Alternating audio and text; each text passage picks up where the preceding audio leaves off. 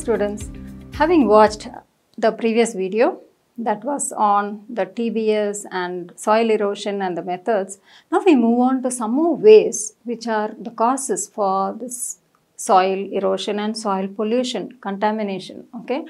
And what do we, how do we define waste? It's something that is rejected, useless, all this is waste. But there are different types of waste, okay? One is solid waste, some are liquid waste and some are gaseous waste okay? That is depending on the state of matter. Then we also classify them as biodegradable and non biodegradable so what you will have is you will have a set of uh, um, uh, two or three choices where you will be asked to pick up something that is biodegradable, pick up something that is non-biodegradable. And we know plastic, thermocol, plastic still goes into microplastic and it is still found in the floor of the ocean. So it is non-biodegradable. Then you have based on uh, the origin. Okay, now you have domestic, you have industrial waste, then you have agriculture waste. Agriculture waste again is divided into biodegradable and non-biodegradable. How? Because See the husk and the normal organic waste, the dead plants and all those things will form biomanure that is biodegradable. It degrades, breaks down and then forms biomanure. But there are non-biodegradable waste like the chemical fertilizers and pesticides. Okay. Then coming to the toxic side. What do you mean by toxic? Poisonous. Okay. They are poisonous. How do we say that biomedical waste are poisonous? See, biomedical waste can be starting from injection and syringes. You can have samples of tissues like blood and urine and so many things. And most, when how do we, why do we go to the hospital? Only because we are sick, isn't it? So all these disease causing germs are still present. So that means they are poisonous, they are toxic and radioactive waste. Why do we call that as hazardous or toxic? Because they can affect generations. Okay, sometimes it results in mutation, it results in cancer for generations to come. And the saddest part of this radioactive waste is they take thousands of years, they still linger in the environment, in the air. So the people who breathe in that, they are likely to be affected by this radioactive waste. And e-waste, so you just take a small battery that you have and after some time when you have left it unused for some time, what happens? It starts leaking. Okay, so like that, there are many, many old computers, phones and television sets and so many things that come under e-waste and these things actually release some heavy metals like lead, mercury and also some so many other chemicals that are being released which are toxic to the environment. Okay. Then we come to the treatment. Having seen all the uh, different things that are caused, by waste, we need to know how to treat these waste and make it okay. Now, the first one is open dumping. What do we do usually? If there is an empty plot, we tend to put all our uh, garbage into that place, right? That is open dumping. What the government does is it takes a large area of land and there all these are dumped openly. But the saddest part is when you do it openly without a cover all it gives place to the breeding it becomes a breeding ground for rodents and insects and so many things and when there is wind it is giving a foul smell and it can be the cause of so many diseases landfills. That's a good, better than open dumping because every time they fill in the garbage and then there's a layer of soil and then they fill in a garbage. I think you, if you have watched my video on the caring for soil, the lesson you would understand this because there I have shown many pictures regarding this. Okay, then but the the worst part of the landfills is that as it goes on, especially during the rainy season or when it is very damp, we see that there is a leakage of liquid or fluid, water-like fluid that comes out and that's called as leachates. It's very important. And what happens is it just slowly seeps down into the earth and contaminating the earth. And when, if it is a slope, it goes to the water bodies, contaminating the water, affecting the biodiversity, organisms, everything. So it's a chain reaction that happens because of leakages. Okay, so that's that you should remember. Composting and vermicomposting is the best method for all biodegradable waste okay? When we take kitchen waste so much of waste is there. We can compost them or we can vermicompost this with the help of small worms. It is biodegraded microbes and it is broken down and final product is biomanure which is the safest and very good for the plants. Incineration. See sometimes we have these non biodegradable ones piling up and piling up what do we do? So much of space is, it occupies. Then comes the solution incineration. This uses and it brings down the volume of the waste to 25%. So the 30 75% is completely broken down. So it is burnt but at very high temperature and it's useful for non-biodegradable waste. Okay, we should remember the method that is used for non-biodegradable waste is what? It is incineration. Okay? But everything has some disadvantage also. Because it is breaking down the non-biodegradable waste the poisonous gases are also released and a lot of fly ash come out of incinerators. That is the disadvantage. Then we have activated sludge process. This is also one of the treatments what do we do in activated sludge? We form a sludge. It is called as a sludge. How do we get a sludge? Using microbes. Okay, so you take the industrial wastewater, the sewage that comes, uh, everything is treated with microbes. So biological treatment happens here.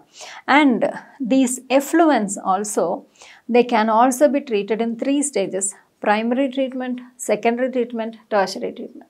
Primary, what do you do? Remove all the heavy particles, the dust and the dirt. Okay, it just you just allow it to settle down and sieve it or filter it and that's primary. Secondary, we introduce microbes, microorganisms that breaks down the waste into something called the sludge okay and the tertiary after all this the water is also treated with disinfectants you must have heard of chlorine yes it is a disinfectant alum, it will precipitate all the bigger particles and bring it down. Activated charcoal, it will absorb all the unwanted smell. So those things happen in the tertiary phase. Now let's go to the EOP. It's not EAP, it's EOP and it's end of pipe treatment. What is this end of pipe? From the word you can guess something, end of the pipe. So as these are getting treated, the last treatment before it is let into the water bodies. We must make sure, double sure that the water is safe for the organisms, aquatic organisms. That is called as end of pipe treatment. Okay. Again here they can ask you to expand. What if EOP? They can give you different options. You must know that it is end of pipe treatment. The last one is Basel Convention. What is this convention about?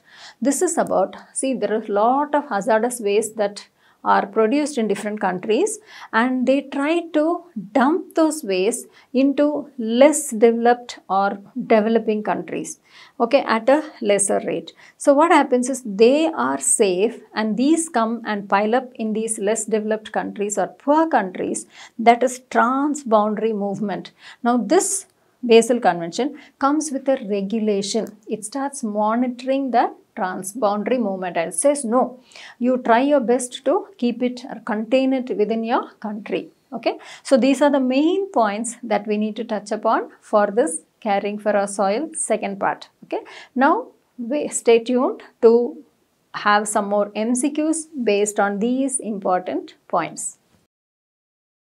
Now we go on to some MCQs based on these waste treatment and waste and how to treat them. Yeah. Now see sewage, industrial effluents and oil spills. Which one will they come up to? Supposing you don't know. You don't know about sewage. You don't know about industrial effluents. You don't, you're, you're getting confused. Remember oil. Remember oil is there at home. What is it? Is it a solid or liquid or a gas? It is a liquid. So what waste it would be? It would be liquid waste. Finished. Next, waste that can be broken down. So what are you doing? You are degrading. See the other name for breaking down is to degrade, degradation. So where is it here? Biodegradable. Microorganisms means something that is alive. something with life is bio. Okay, so biodegradable. This is the correct option. Petroleum, plastic, and thermocol. You know, we know why do we ban plastic everywhere? Because plastic can cause so much of havoc. It can still break down into microplastics and still be there in the ocean. And it seems there are many sharks and uh, other organisms that are right down in the floor of the ocean which are taking in these microplastics and it is causing a lot of havoc in the health of those animals. Now, are they biodegradable? No, they are non-biodegradable. That's why we have to ban plastic. Organic waste are composted and used as. See, when we take organic waste means you can take anything like plants or animals, anything that is made of uh, any dead uh, li um, living organisms that are dead, they form organic waste okay now when they are composted so here in this case it's about the domestic waste that are composted then what happens it gets completely turned into do you get pesticides or fungicides here? No they form something called biomanure. Okay it's very good for the plants. Radioactive waste. What do we learn what did we learn about radioactive waste? That they can be staying in the environment for many many years. Okay so that is one thing. Do they spread? No they don't spread. Are they infectious? Again no like from one person to the other it doesn't go. But it stays for thousands of years. So this the first option is the correct option. Burning of waste at high temperatures. This is one of the waste treatment that we use for non biodegradable waste. Okay? We have three things here. Cyclone separator is there. Incinerator is there. Landfills is there. Do the landfills have high temperatures? No. So that is ruled out do the cyclone separator has high temperature? No. So the only thing that has high temperature, uses high temperature is the incinerator. The liquid that solid waste give out in landfills. This I said it's very important. Is it called effluent? No. Is it particulate matter? No. It is called as leachate. Remember this word. No, chemical fertilizers are classified as. See, chemicals are chemicals anyway. Again, they don't break down. When microorganisms come and try to break them down, hmm, that's not possible. So, they are not biodegradable. They don't form part of e-waste, but they are non-biodegradable waste. So, that's the answer for the eighth question. The movement of hazardous waste. So, the transboundary movement from one country to the other. How is this regulated? How is this monitored? And how is it controlled by which of these things? Is it Euronorms? No. Is it JFM? No. That is Joint Forest Management. So that's also not there. So Basel Convention is the right answer. Heavy solid suspended matter are removed in which part or stage of the treatment.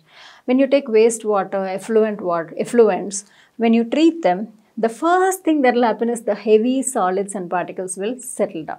So that means it is the primary treatment. Okay. A biochemical process. What do you mean by that? So you are using microbes, bio and chemical method to treat sewage and industrial wastewater using air and microorganisms. What is it called? Is it activated sludge process? Is it sedimentation? Is it precipitation? We are using something biological. So, it is to form a sludge. So, the answer is activated sludge process. Pollution control method which treats effluents prior to discharge into the environment. So, before it is discharged into the water bodies, what is the control method that is used. So, the, at, at the end of the treatment, what is the control method? Is it wastewater treatment? Of course, it is wastewater treatment. But what is it happening specifically at the end? That's what we have to think of. Water recycling? Yes. But then end of pipe treatment is the correct specific answer for this. So, you have to be careful while reading the question and select the correct answer. I hope you enjoyed this uh, on this chapter, caring for the soil. Okay. Now, on this basis, you try to read the textbook, reread it and many times and you can frame your own questions of MCQs and there you can crack it very well. Okay. Wish you all the best and if you have liked it, don't forget to like, share it with your friends and subscribe to this channel. More to you from the next unit in the next video. Bye, bye till then.